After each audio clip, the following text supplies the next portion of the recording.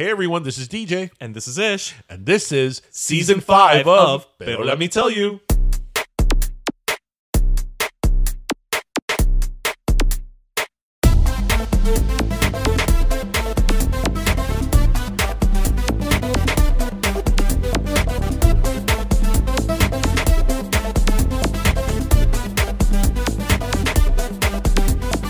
All right, mi gente. Now, this guest, I could sit here and list all of the things she's been in, starting from Cleopatra 2525 to, you know, 911 Lone Star.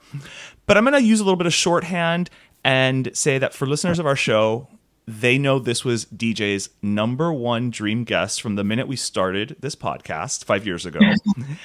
and you will probably hear him giggle a lot during this interview as a result of that. His little nervous, happy giggle. We have with us the one, the only, the incomparable, the beautiful, the talented, the fantastic Gina Torres. Thank you so much for joining us. Hola, hola a todos. Thank you. Thank you so much for, for having me. So Gina, as Ish said, I I when we started our podcast, um, we're on a fifth season, so we started in 2018. You know, we had a, a, a a list of guests, of dream guests that we wanted on the show, and you know, it was it was like, who's gonna be on our podcast? We're just two guys from Miami, two Cuban American guys from Miami. Like, what what like celebrity, like not even a Z lister is gonna be on our podcast?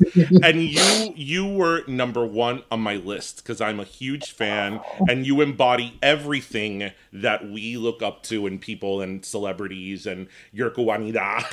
so you, uh, the fact that you are on our podcast, it's like dreams come true. so Yes, they do. Thank you. Thank you. Thank you. Thank you. Oh my goodness, what an introduction. That's that's pretty amazing. Yeah, feel free to feel free to use it. Well, you know, next time. you- I'm just gonna run it on a loop. That's what I need.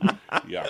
All right, so so Gina, I mean, you know, you you've been you've been in the industry for for a minute now. I mean, I know again, I mentioned I think the first thing I ever noticed you on Cleopatra twenty five twenty five, which tidbit guys, I think she also sang the theme song for that. Um No. no, or was that No. okay? So Wikipedia's wrong. No, that never that's happens. some urban legend. that never happens.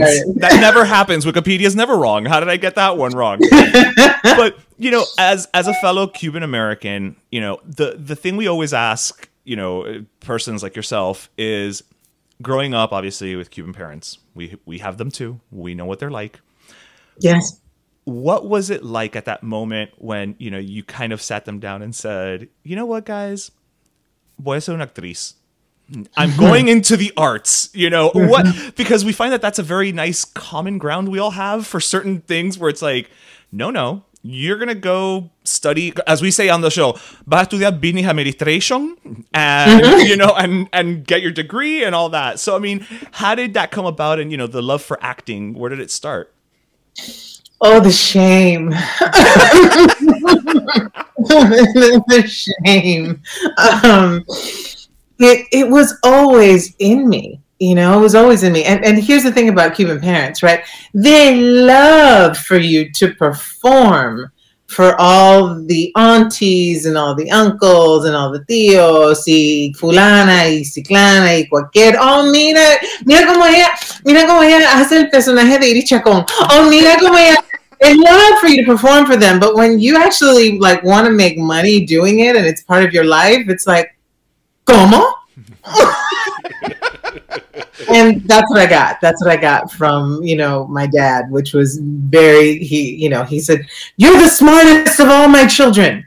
You're the one who should be, be you know, who should be a doctor. You're the one who at, at the very least a nurse. You just need two years. Mira, dos años, dos años de la universidad y puedes ser enfermera. Dos años se van así, dos años pasan en nada. Like, oh my god. Um, so yeah, it was the shame. I mean, all actresses and entertainers, as much as we enjoy them and watching them, they're all whores. they're all whores and drug addicts. yeah. Oh my god. My daughter's not a whore or a drug addict, or, or she will become a whore and a drug addict. that's the fear. That's the fear, right? It's a gente Yes. de Hollywood. La- esa gente, Yeah. esa gente. So having, um, you know, zero um, uh, accessibility right Yeah. because i mean that's the thing we always talk about which i'm sure we'll get into you know later it's it's when you are of a marginalized group Mhm. um you know reach and accessibility and and and things that you can you know people that can actually open doors for you it's like where does that even where do you even begin like where does Right. that even start Right. and um, so here I was with this huge dream in the South Bronx um, with absolutely zero understanding of what it would take to to get you know walk that path. Right. Yeah. Um, and, and the first the first path was going to LaGuardia High School. Oh, you went to that's the Fame High School, right? Yes. Oh, okay. How many cars did Yes, you dance on did. top of? I gotta, you know. It's, Um, no cars, but there were a couple of tables. okay, I'll take it. involved, and um, and I was a, a vocal major, so there were quite a few times when we were on the IRT, my classmates and I, on you know, on the train after school, we would completely take over a train car and practice whatever choral piece we learned that day. So you heard, So it, yeah, you heard it here first, guys. Gina Torres was the originator of "It's Showtime" on the subway of New York. So I, I I heard por ahí that one of the first roles you uh, auditioned for was Deena on Dreams Girl on Dreamgirls. yeah, Yeah. yeah, absolutely. That was my first professional job. Wow. was Deena on Dreamgirls. Um, I was 19, about to turn 20. Um, and it was for a musical, um, it was for a, a dinner theater where you would bring your own dinner. Oh. oh. wow. that still exists. It still exists. It's, it's in Bridgeport, Connecticut. It's still there, called the Downtown Cabaret. And um, uh, it helped me get my, my equity card. And it was one of those, okay, so I'm a tall woman. And uh, I was about 5'10, pretty much around by the time I was 12. oh wow. 13. And so at that age, when all girls are kind of starting to learn how to, you know, walk in, in high heels or some kind of a heel, my mom grounded me, completely grounded me because she didn't want me to be any more of a freak than I already was. She didn't want me to be any taller than I already was. She didn't want, you know, it was just like, mm-mm. so here I am all these years later, auditioning for one of the most glamorous Yeah. women on stage, like characters on the stage, right? Based on Diana Ross, based on all those girls. And I had to learn. I said ah, at, like, at like 1920. At 1920 how to not just walk in high heels, but dance in high heels and step and touch in high heels and pretend like it was the most natural and go up and down the stairs and step, touch, step, touch and jiggle, jiggle, jiggle. Yeah. So that was like baptism by fire um, and costume changes and like the whole thing. But it was, God, I was so happy. I bet. I mean, that, that's that's a great that's a great first role, like first Yeah. professional role. So, I mean, Yeah. obviously, anybody that talks about the Gina Torres, you know, um, trajectory has to talk about. Sci- you know, sci-fi. You you are an icon in in the sci-fi world, Yep. and and From Angel I- to Firefly. and I guess it was that coincidental or was that a conscious decision that you made to go that route? Uh, no, that was that was completely coincidental. That was um, necessary. Was. they were the only people that would hire me. You know, Um, you know, they say don't meet your idols, but man, she's amazing. She's even better. but no, it's a true story. Listen, I I have this um this incredible super fan who has been um, uh, editing like these edits right on on Instagram, and she's then she posts them, and she goes deep into the vault and finds things that I haven't seen in years. And I bring this up because it absolutely has to do with your question.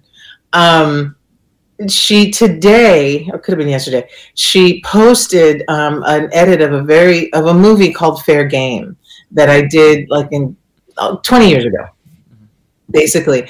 And I saw it and I got weepy because it was my first and only leading lady role.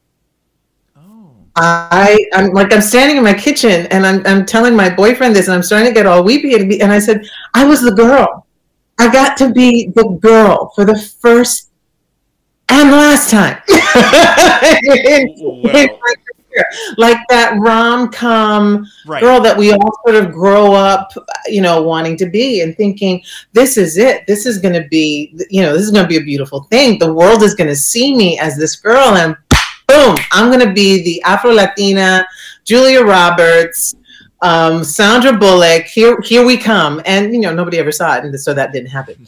My point being that um, I couldn't make a living being that girl. Nobody would hire me to be that girl.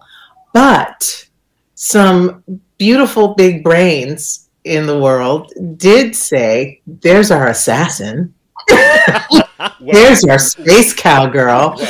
There's our, you know, emasculating kick ass lawyer lady.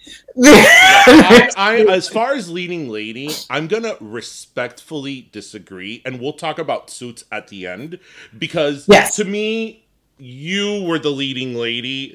this was Gina. This was Jessica Pearson's world, and everybody else lived in it. But we'll get to that. We're leaving suits to the end because I'm a suitor. Yes. I'm, I'm Yes. a suitor. I'm a super fan. Okay. And I was telling you, if we start talking about suits, it's just going to be the suits interview. And Gina has so many other things. She has, um, you know, she's There's- Tommy Vega now. like- right there, look- there. look- yeah, yeah. Pearson- yeah, Pearson yeah, poster? your Pearson poster. So that that's gonna be the the end. That's gonna be the end chapter. So Okay. uh, I'm glad you mentioned, you know, uh, being Afro Latina because one of the things that in our podcast we've we've you know in 190 some episodes that we have we've tried to have a lot of you know because we're two cuban guys but we're white so there's only so much we could bring to the table and we don't want to take the space of other people and we've had a lot You of bring plenty. You bring plenty. Uh, thank That's you. the pull quote moving forward. Thank Whenever any Gina Torres says Yes. we bring plenty. But thank you. But we, we, you know, we've especially wanted to amplify, you know, Afro Latino voices, and you know, something that I've always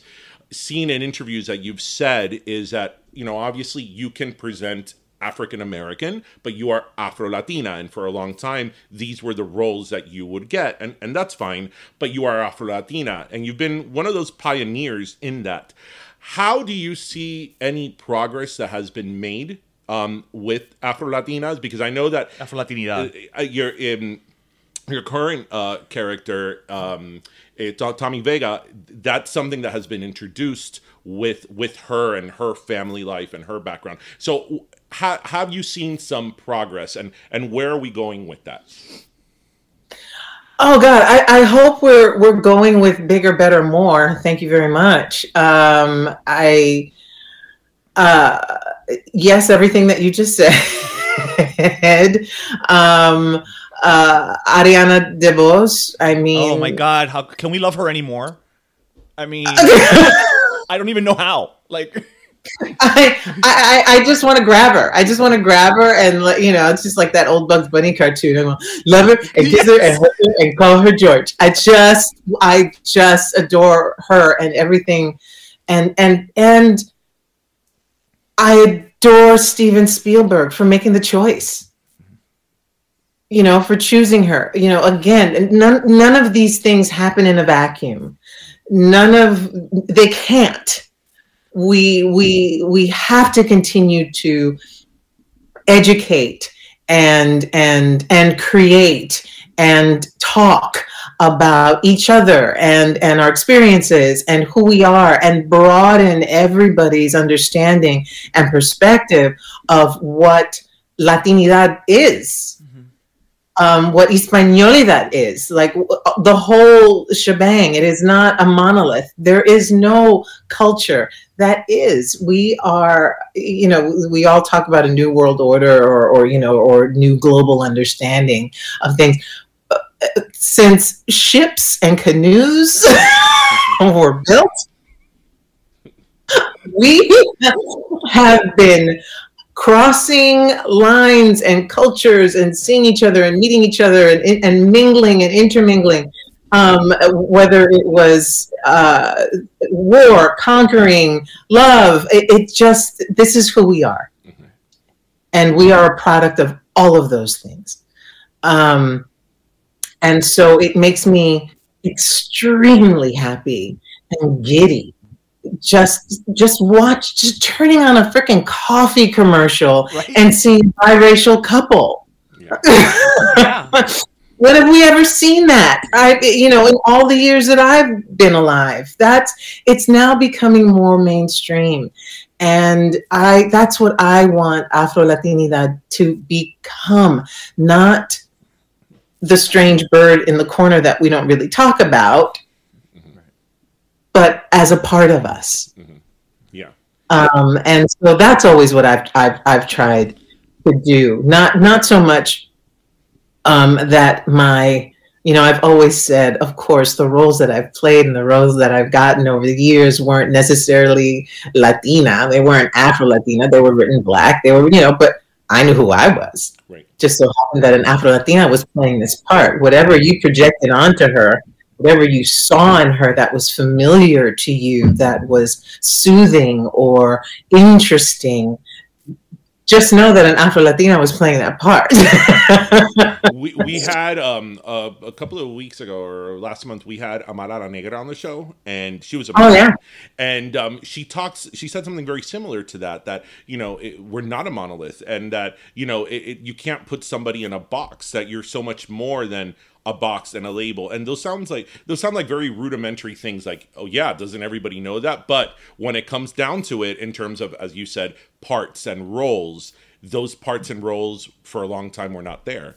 And and it was very one dimensional so it, again it, it's great to see that in in um with with your current character with tommy vega like that you've been able they've been able to introduce that about her um in the show and how much of that was was written, and how much of that was what you know what what you? I mean, obviously, you as the as the actor in the role bring that character to life. But was that already going to be an element of her character, or was it something that you showed up and you're like, you know, I got an idea? Yeah, that. that. Yeah, I was talking to the uh, to the creator, to Minear, uh, who's the reason why you know I have the job at all. Who I I worked with him on Firefly. Yeah, yeah, and um, and he offered me this part, and uh, and I, you know I said yes, and and and um, and then about a week later, I said, and here's the thing. By the way. By the way, I, I really need her to be Afro Latina. And he said, okay, absolutely, great. Tell me what that means. That's great. That's great that he wanted to Yes. Yeah. Yes, he wanted it to be authentic. He needed it to he needed to hear from me. He wanted to be able to to, you know, relate that to his writers. Um, and when I walked on to set, to the house, to the set that is my my house, my home, and I walked into the kitchen. Oh, girl, did I forget to turn off the? we heard a ding. Do not disturb. Oh my God. Que bochorno. it's okay. We're among friends here. okay. Um, um, so uh, uh, yes, I walk onto the set. Um, that is my home. That is the Vega house. And in the kitchen, I, because my my late husband played a, a chef and a cook, there is a chalkboard menu that looks like it, it came like straight off of a wall like of some like greasy spoon in in little havana and it's all cuban food nice yeah Ooh. Okay, I'm gonna look for it now. Yeah. Like it's it's huge. And I just walked in and I just they heard me. like they got it. It wasn't like a yeah, yeah, yeah. Well just it's it's no, this is yeah. this is her. Yeah. This is what she would have in, in her and this is what her husband would, you know, would have for her. And so it it's those little things that are so important. Um when we're talking about representation. Yeah. And It is it is in the details. Yeah, absolutely. And it's, you know, again, it shows that they, because many times the writers' rooms don't have the degree of diversity that we would like, right? Like, as much as God bless them, they try, right? It's just, Yeah. it's, it's just not caught up yet. But Yeah. they listened to you and they didn't just kind of go like, well, Afro Latina, I don't know. Have her say I'm going to Fiesta once in a while, and we'll, we'll you know, we'll, we'll call it a day, you know, like because that's not it, you and, know, and say say, wow, this is very caliente. Like, right? right. Throw some Spanish in there. Yeah, just I don't know. But say have her say hola when she walks in, and that's it. We'll be fine. Yeah. you know, they took it that extra step, and that was because they allowed you to have input, and it makes all the sense in the world if you're playing this character. I mean, you know her better than anyone else, right? So of Yeah, course, absolutely. And and it's also it's doubly important for me too because in Hollywood when one thinks specifically Latino, here it's it's Mexican. Yeah. Um and it's you know, it's it's it's like they say, you know, alas del mismo pájaro. Say, right it's like it's yes the, the, we do have a very we're we have a language but culturally they're little there's little this and then there's a little that and then this changes and this you know like mexican tamales are very different from cuban tamales Mhm. and nobody ever hears about puerto rican pasteles Right. Right. Nobody ever hears about, you know what I mean? So the more we open up, and again, South America is different from the Caribbean. And so I, I it, we're in Texas. So naturally you think, oh, well, we're going to hear more about like Mexican culture. And yes, that's a huge part of, of Texas. But to now put a Cuban in Texas, right. it's just like let's just let's just do something else let's just let's just you know show the differences Yeah.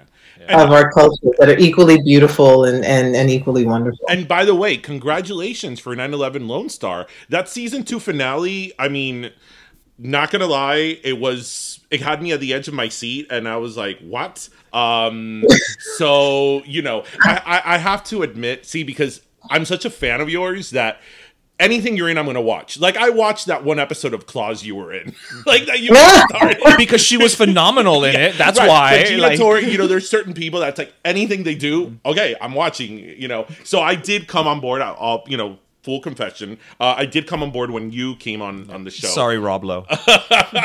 me We love- too We love Rob.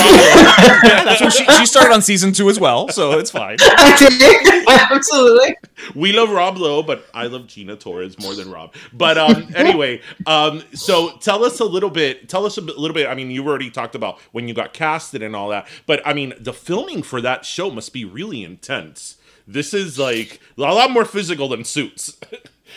yes different Yeah. This was, was was physical in a different way um with my feet and stilettos but that's a, but we'll get to that We'll get to that. Yeah, we'll get to that. Um, you know, it's been lovely coming on to, to Lone Star because in, in a lot of ways it was sort of coming full circle back into an action uh, based genre because that's how I started. I did I did action for 10 years between Cleopatra 2525 and Firefly and Alias and you know there was always an element of me throwing my body around.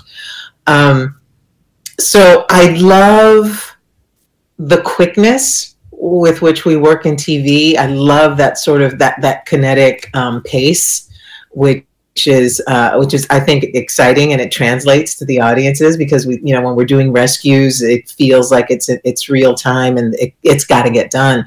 Um, but what's so beautiful about Lone Star is you spend so much time with the characters that you're invested in them you're invested in their lives. And so when they get to show off this ridiculous skill set in these ridiculous circumstances you're that much more engaged in what's in what's happening. Um, and I, I have to say full disclosure it's not something that i expected at all. You know you think of broadcast tv you think that they you know they have to check off certain number of boxes. Um, it's a great paycheck I'm going to be working at home, you know, all of these things as you reach a certain age, when you have a family, when you have responsibilities, you know, you kind of look for all of these things. Um, and and you hope and you pray that you can be soulfully creatively fulfilled. And i'm so happy to be able to say that i am for all of those reasons. The diversity on the show is incredible um, the storytelling is is incredible um, and we have a great time we have a great talented cast yeah. Yeah. I mean, I know uh, when I see the show, and I mean, I know obviously you have a background of, you know, kicking ass and being a superhero. Um, but I'm like, wow, this is like a very physical show. Like, yeah. I mean, yeah. these people must be exhausted by at the end of you know uh, when they finish filming because I mean, I'm sure you do a ton of takes and all that. Um, yes. Yeah. But um, so so we've come to the. Have we reached that point of the interview? That point. All right. Where, okay. So I have to tell you about why I have. I'm gonna try to keep him on a leash, Gina. I promise. I have, I have on DVD. Mind you, Suits is on streaming. Um, and why it's all on my DVD? Because since we live in Florida, there's a lot of hurricanes here and we lose power a lot. So I've always said if there's a hurricane and we lose like cable, sir, like streaming Wi Fi, I have the, the, whole series of Suits on, on DVD. no puedo contigo. Yeah. Like, I mean, Gina, you don't understand. Like in 195 episodes, I'm constantly referencing suits. So that's true. Because I, I actually am a lawyer by trade. So ah, okay. So, so so I started watching Suits when right off the bat, and and again, it's not because you're my dream guest or you're on, you know, you're we're interviewing you right now. The moment I saw you in the pilot, I mean, I knew who you were obviously from you know, The Matrix and everything else you had done, but I was like, oh, I I I love her. like I love Jessica Pearson. like and then, you know, as the show progressed and your character just kicked more and more ass, that's why I said I respectfully disagree because to me, so you I, I know it was all about harvey and mike but you were the kick-ass character in suits this guy right here can attest to it. Yeah. when when i would watch the show in first run all of jessica pearson's suits i'd be like uh, scenes i'd be like pause rewind. Because her scenes were so epic. So let's I, I, wanted to ask you how did suits how did you even get um, you know involved in suits? How you know the character uh, did you have any type of input in that development? How did that all start um the way any, good job starts it with an audition and i had um i had auditioned for another show um, for USA Network, uh, like a, a few weeks prior. Um, that I did not get. It was, I think it was for covert. I think it was covert affairs, but I, I, had gone to the wire on that. Wasn't right for that. They chose somebody else. Suits came up. By that time, all the executives were familiar with my work. Um, so they decided to bring me in. They were having a hard time casting this character. And part of the reason was, you know, she she was written as um, a white 60 year old male.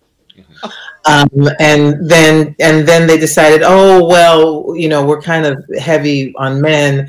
Uh, let's do the right thing and make it, uh, you know, a white 60 year old woman. no, yeah. diversity, really. Yes, diversity. Yes, exactly. and and then someone, uh, which I believe was probably Stephen O'Neill, who who's the head of casting out there, said, "Well, you know, we just read Gina Torres, and um, and bring her in. I mean, she's she's much younger than you uh, would want her to be, or, or as she's written, but I think she has the stuff to make this work. So I, I came in, they wanted to meet with me, and that went very well. And uh, and then I and then I you know jumped through all the flaming hoops to get to the job again, um, and I got the part. As to your question about um, how much input I had in it, I was the one wearing the stilettos. I mean, I, I, you know, I'm, I'm the one that says the words that shows up, and that's what I did. I don't believe for a second that they knew who this character would become embodied by me. Right. And never- that's what- that. So no, I mean there was no way. there was no way. Um, and and I just brought all of you know every assassin I ever played. Yes. And I, you know, I became the woman that I believed needed. Uh, I needed to be to run that firm. And I had to be completely unapologetic about it because the world was seeing a formidable black woman Yeah. run the lives of a bunch of white men. Yeah. Yeah. And they had to and they had to love her for it. What ah. what I thought what, No le quedaba de otra. what I thought was so Yes. genius about the way Jessica Pearson was written. That's why I asked about your input in it because I had a hunch that y- this was you at the table, like bringing this to the table. Was that Jessica Pearson was unapologetically, you know, who she was, like this is what it is. But she, you know, I hate to say the word, she wasn't a bitch. You know, she was fair. She was fair, and so Yeah. often they go in that direction that the woman in charge is the what is it the H uh, HBIC, HBIC. Um, they, Yeah. they, they go that direction. And Jessica Pearson, I mean, you you feared her a little bit, but she was also fair and she was you know human and she there was there was dimensions. You know, she was multi-dimensional, and I thought that was perfectly written. Perfectly written. Thank you. Yeah, no, they, they they did a great job with that. I think there was always um in playing her, there you know, there's there's always that opportunity, right? To be hard. Yeah. To be when you're when you're when you read the scripts and you're just reading the words, there there are so many different ways to skin a cat. And it, it was really a very conscious effort, certainly on my part, to keep her calm. Right. to keep her um, the smartest person in the room. And you can't be the smartest person in the room unless unless you see you know i mean there were al- always so many references to her being you know a, a genius chess player right? A 3d chess player. And that's really how I, I saw it. She was she didn't have time for the petty Yeah. of it she was she was so far ahead of everybody else in in trying to just get it done and what had to be done and moving those pieces around. Um, and i loved that about her. I loved playing that about her. And it, it's also something that um, uh, that i when someone asks advice it's it's pick your battles. She was genius at picking her battles. Yeah. Yeah, she uh th- now that you said that that she kept calm in that episode uh This is Rome when Louis finds out about Mike and and Jessica's like you want to see me squirm. Well, I'm not going to give you the satisfaction. that was so Jessica. So you just better tell me what you want. Like it's so like steady hand. So funny story. So obviously as I said before, I, I obviously knew who Gina Torres was, but I didn't know a lot about your you know your personal life. And it was in the third season that you're talking to the character of Jeff Malone that you're like, oh, did you go to that little Cuban place where they have the ropa vieja? And I paused and I was like, I was like, not even Meryl Streep can pull off that accent. I'm like, like, I'm like, oh my god, Gina Torres is our people. She's Cuban, and that is how I discovered Cuban. The way you said ropa vieja in that episode, I was like, nope, nope, nope. She has to be, she has to be Cuban. So, um, yeah, I I thought that was such an amazing, amazing show. But to me, you were the life of that show. And when you left, I was I was torn apart. Like I like, I mean, I still kept watching the show because I was like, what, six, seven years invested at that point. You Yeah. know? but Yeah. and then you know when when when you came back with Pearson, I still have all of Pearson on my DVR. like Oh, that was don't so update great. it. Don't update that damn DVR. You'll lose everything. That was so so so great that they they they gave you the chance to you know make go more in depth with the character. How was that experience? I loved it. I loved it. I I, I mourn a season two. I mourn that show. There she is. Especially since season one ended in a cliffhanger. like, yes I, and a good one and a good one too we had so many we had already sketched out a second season um it was it gosh it was just one of those things where we got caught in the worst um perfect storm. Yeah. in for a television show. It was um you know cable such as it is and and cable programming is now giving way to streaming. But the thing about cable programming is that it's it's it's not streaming. It's not broadcast and we don't make broadcast numbers because they're streaming and broadcast doesn't even make broadcast numbers anymore Yeah. because they're streaming and um and peacock still had not come online Right. and there was no there so we were caught in sort of people loved the show um but we didn't have they didn't come out in the numbers to watch it live that that we needed them to and then there was no place to go because it was NBC Universal and they didn't have Peacock yet and they were trying to end all their deals with Everyone else. streaming, you know, with like Netflix. It was just this thing. And I just remember I got the call that they weren't going to to pick it up. And here's the thing, right? When you get canceled, there's always like one poor bastard that like draws the short stick that has to make the call. Nobody wants to make that call. I heard from every single executive from the very top all the way down about how much they loved the show, how it wasn't the show's fault, how, you know, how um, happy they were to have worked with me, like all like all the things. It, like no one was hiding in a corner going, shit, shit, shit.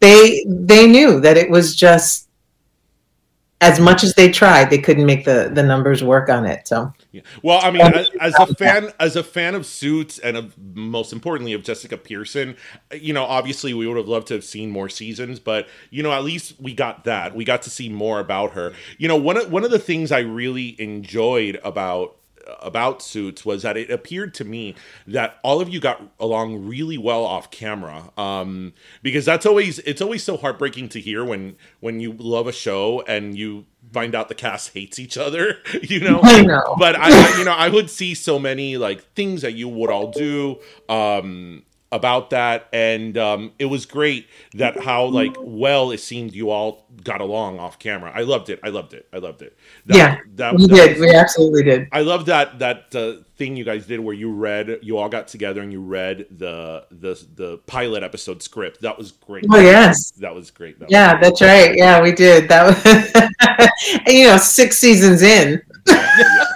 Let's give a refresher. you go, oh, I remember this. I remember. Gosh, you've come a long way. And the last thing I'll say about Jessica Pearson is that I remember, you know, during Suits heyday, they were always talking about like um, uh, Scandal with um, Olivia Pope and Kerry, Wa- you know, the character Kerry Washington played, and they'd always talk how great she was, you know, that she was a woman of color and how badass she was, and all the, you know. Doors she was breaking in. I'm like, no. I'm like, Olivia Pope has nothing on Jessica Pearson. Like- like- no offense to Kerry Washington. We love Kerry Washington. But, We love Kerry. but yes. but Jessica Pearson is the biggest badass on television. So you know, the great thing about Jessica was that she she was dependent on nobody. mhm. It was, and and that was sort of it was it what was equally frustrating and endearing about her. Like I would often joke that is is she even real? Like does she have family? Does she have like does she just there's this door that led nowhere. in her office, and I just thought maybe that's where her pot is. She just plugs in. She plugs in there at the end of the day. Um, and it was just so beautiful to open her up in uh, on Pearson, so that you said, "Oh, she doesn't plug in at, in a pod at the end of the day. She actually has a life. She has, you know, an interior life. She has an emotional life, and it runs deep." I love it. It's the last. it's the last thing I'll say about Jessica Pearson. You Like a typical I'm fan. Cuban. He said the last thing was the last thing, fan. and now this is, the last thing. some some interview you did some years ago that they asked you, "What's Jessica Pearson's go-to karaoke song?" And you're like, "Jessica Pearson doesn't do karaoke." Wonderful. Like, I loved it. So, so let, us move on because if not, you know, it's gonna get. I know she's got other things to do.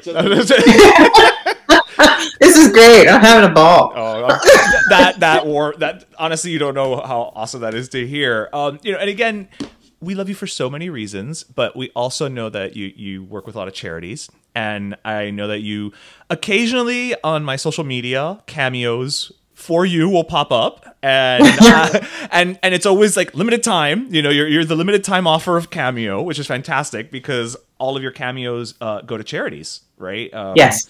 and so, is that is are we getting another round of cameos uh, coming up soon? I am I am back on Cameo. Yes, I am. Cameo.com slash Gina Torres. I think that's it. Um, yes, and and you know, I'll I'll happy birthday, happy anniversary, happy belated St. Patty's Day. you need a pep talk. I'm your girl. Um, and and every dime that I make goes to No Kid Hungry and Save the Children. Wow, and I mean, again, like like we don't love her already, like, and then she's a she's you know she's philanthropy. Yeah, yeah. Like, we we as I said, we we feel so proud that you know you've you're such a, a not only a great actress and a, and a great person and you know philanthropy, but that you've um so unapologetically um you know put the Cuban name out there, you know, and and it's so important to have people like you you know front and center and and you know representing us and and i just yeah we're we're it, it's so weird because sometimes in this podcast we we interview people that are great that you know that are fantastic but it's not every day that we interview people that we're like hardcore fans of so thank you so much gina thank you so much Yeah, Thank you. I- Thank you. yeah. You guys made my week. Thank you.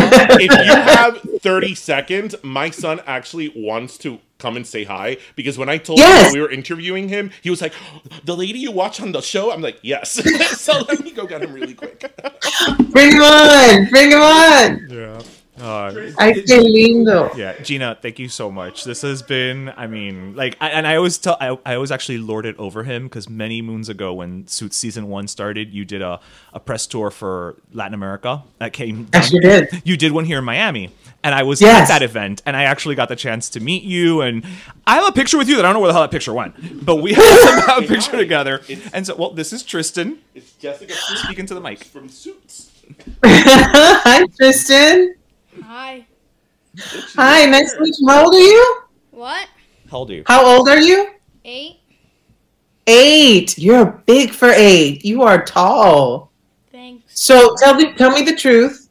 Tell me the truth. How often does your dad torture you, making you watch me on TV? Well, he doesn't. But how, how often does he watch Suits? It's true.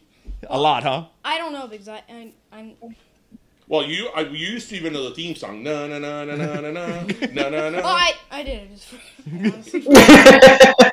so thank you she just wanted to say hi nice to meet you. Bye. N- nice to meet you too. thank you so much for doing that Oh, of course. he was so excited he was so excited I got to keep my fan base young. yeah got to keep them going. I like rolling them in. Just walk away. I love it. Estilo Factoria. I love it. Like, So, Gina, thank you, thank you so much. You, as I said, you were number one on our dream list. Like I was like, Gina Torres, I want her on the show. It's never gonna happen, but I want her on the show. Of course it's that. I can't. I can't believe I've missed so many seasons. so, Well, Well, you can catch up. you can catch up. You can catch up. All right, fair enough. Between Good. scenes- and I'll come, when I have something else to talk about, I'll come on. Is that a deal? I, listen, wh- wh- wh- we've got it on tape, so, So, I, it's. yeah. Okay. So, All right, sounds Okay, good. Thank, you so, much. Thank, Bueno, Thank have you. a great Cuídense week. mucho. Y- y A ti, un beso. Muchísimas gracias. Bye. Bye. Right.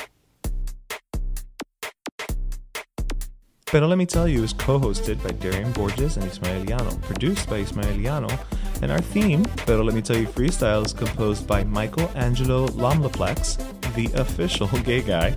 And don't forget to subscribe and leave us a review on iTunes.